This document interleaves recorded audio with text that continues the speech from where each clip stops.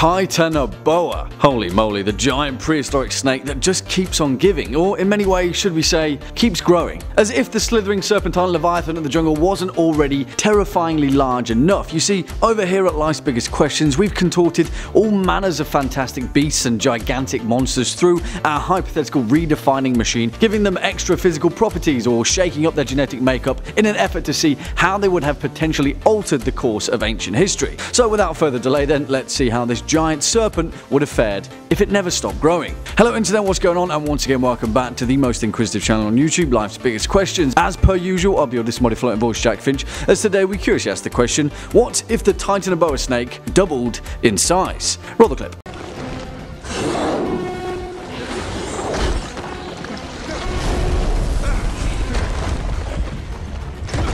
For the curious amongst you, that clip was from 2016's Gods of Egypt, which, let's face it, was an absolute disaster of a movie. But hey, the CGI was pretty damn good. And also, on that note of a giant python, if we're going to see what the Titanoboa would be like at twice the size, we may as well give them the ability to breathe fire whilst we're at it. Right? Nah, I'm just kidding, that would be a ridiculous idea. Just like the plot of Gods of Egypt, where the answer to the question, would you like dragons or snakes, seemingly was a simple yes. But anyway, enough of that, you get the picture. Let's see what's happening with the old giant snake waiting patiently in the corner. Now, if you're scratching your head thinking, wait, what the hell is a Titanoboa? I would politely inform you that Life's Biggest Questions have a list longer than your arm of equally intriguing and potentially terrifying hypothetical scenarios that we've pitted this ancient creature against. And if you're so inclined to expanding your paleobiological knowledge, then now would be high time to trudge through them and see exactly just what we'd be facing off against here. But for those of you that haven't, let's first take a brief look at the ancient titan of the jungle and just exactly what he's got cooking under the hood. To do that, we'll have to cast our hypothetical gaze back a while. Well, 58 million years back to be precise, to a period just a few million years after the fall of the dinosaurs. And now, as you may know from that gaping hole of an asteroid, there was quite a void left behind after the fall of the Lizard Kings. Now, back in the day, pretty much everything was downright huge. In fact, everything was hotter, wetter, and far, far bigger. Trees had wider leaves down to the massive amount of rainfall, 150 inches or so per year, and temperatures would hover around a stifling mid to high 80 degrees Fahrenheit. Turtles had shells twice the size of a manhole cover, and crocodiles were more than a dozen feet long.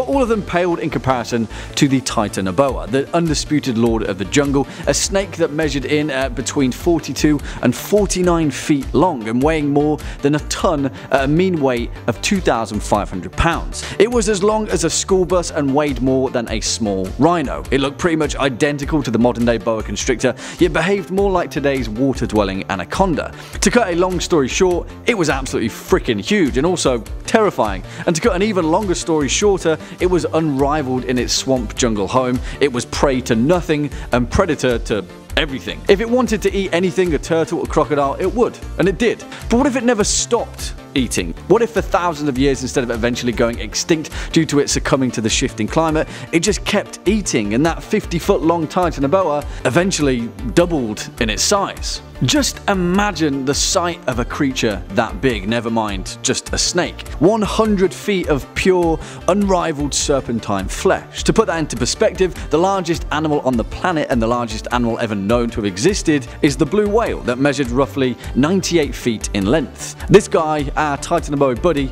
would be Bigger than that, probably. The thing is though, down to its massive size, the blue whale has evolved to a point where its body is actually pretty constrained to not being a predator. Despite the size of its mouth, the dimensions of a blue whale's throat prevents it from swallowing an object wider than a beach ball, down to the fact that to sustain itself in the ocean, it eats around 40 million krill in a single day, and when fully expanded, its mouth is large enough to hold around 90 tons of food and water.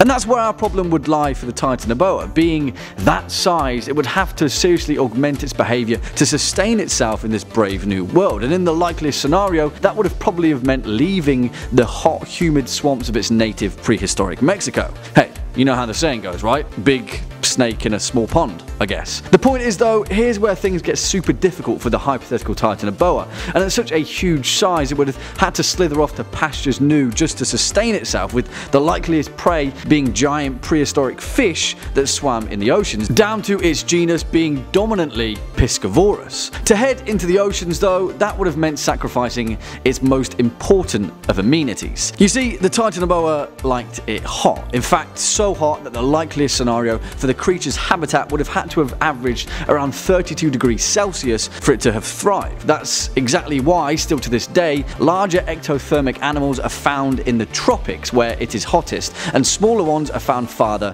from the equator. For the Titanoboa to have survived and thrived at twice the size, it would have meant moving to pastures new with very specific parameters, somewhere in the ocean that was really, really hot. And guess what? Luckily for the Titanoboa, the oceans were absolutely boiling at this point in history. Well, I say that hyperbolically because they were just really, really warm. The warmest actually being a portion of the North Atlantic where rapid volcanic activity would eventually lead to the creation of Iceland. But there's another problem for our Titanoboa to face because sadly, it's not all plain sailing or slithering. During the Paleocene there was, well, there was quite a shortage of fish. And by shortage I mean after the whole extinction event thing, nearly 90% of all calcifying plankton were destroyed and it would take roughly another 7 million years to fully recover. And guess what? Our Titanoboa is a big growing boy and it's going to take a little bit more than a few ancient clams and snails to keep him fed. You see, whatever the habitat, an apex predator needs its prey, and it's pretty slim pickings at most points of the Paleocene era for a creature the same size as a modern day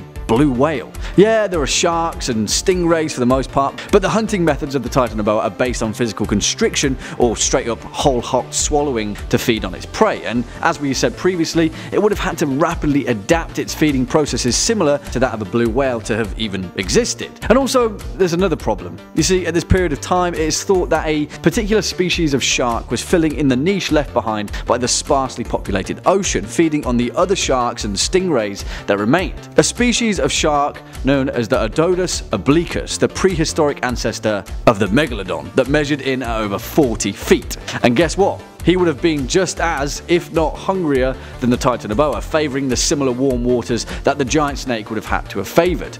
And that can only mean one thing trouble. Well, you know how the old saying goes there's always a bigger fish even if you are a snake. Well, there we have it, our long and short answer to the question, what if the Titanoboa snake doubled in size? What do you guys think? Do you agree, disagree, have any more to add on the matter? Then let us know your thoughts down below, as well as any intriguing insights that you'd like to share. Before we depart from today's video, let's first take a quick look at some of your more creative comments from over the past few days. Spirit Thief says, if you're a disembodied voice, what is doing the floating? You're nothing but vibrations in the air then. There's no physical part of you floating, so how can you be floating?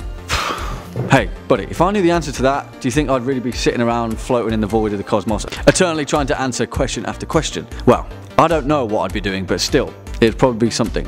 Oh, I don't know. Well, after that existential crisis, unfortunately that's all we've got time for in today's video. Just stick around all the way until the end. If you were a fan of this video, or just life's biggest questions in general, then please be a dear and hit that thumbs up button, as well as that subscribe bell, and I'll be seeing you in the next one. As per usual, I've been this body float voice Jack Finch. You've been watching life's biggest questions, and until next time, you take it easy.